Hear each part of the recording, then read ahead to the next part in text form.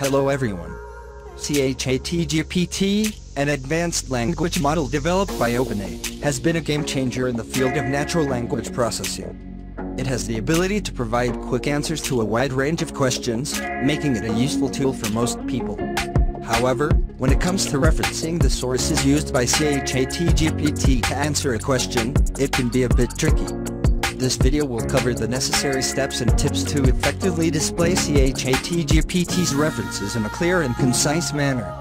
To ensure that ChatGPT is using the internet to support its answers and to show the corresponding references, you can use a browser extension for Chrome, Safari, or Firefox.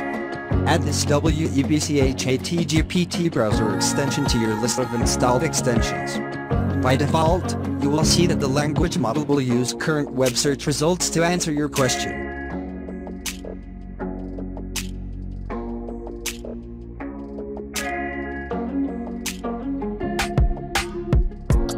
It will, in addition, show you the references for its findings.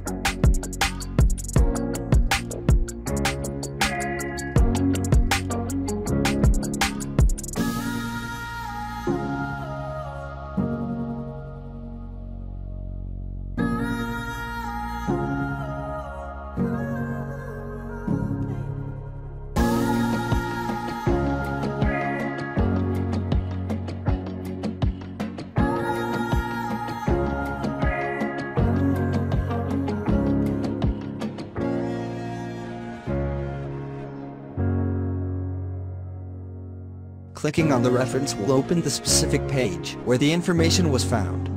This is possible because the browser extension is writing elaborate prompts to get this information sourced and presented in this particular way.